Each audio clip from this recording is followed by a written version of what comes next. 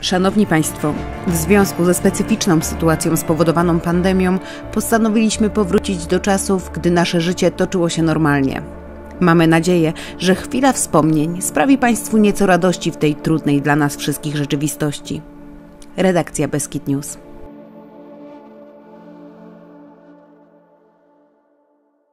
System ready. Uczestnicy sobotniego biegu na zróżnicowanych w zależności od wieku dystansach walczyli o cenne nagrody.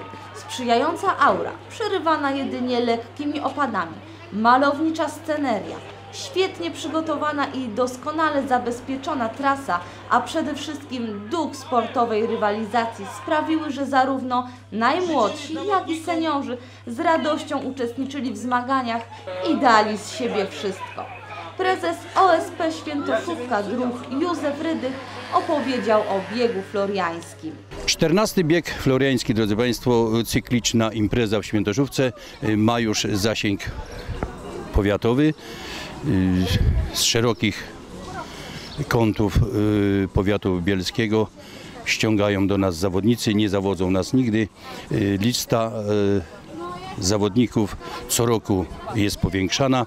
W tym roku startuje y, zapisanych do biegu jest prawie 200 osób, y, z czego na, list, y, na mecie na linii startu jest około 160 zawodników w czterech kategoriach.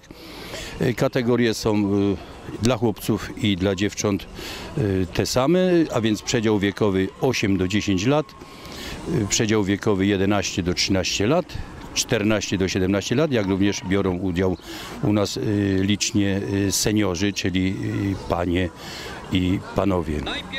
Po zakończeniu zawodów wręczono medale i nagrody, a uczestnikom warta 70 gratulował Janusz Pierzyna, wójt gminy Jasienica.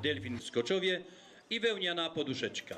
Bardzo serdecznie dziękuję organizatorom i jednostce OSP Świętoszówka za przygotowanie wszystkim druhom, sędziom, wszystkim służbom medycznym, wszystkim druhom z jednostek ze Świętoszówki i z ościennych, którzy przygotowywali bieg, zabezpieczali i dawali możliwość radości zawodnikom.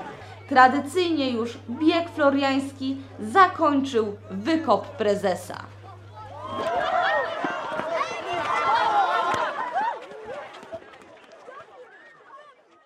sister. Ready. Ready.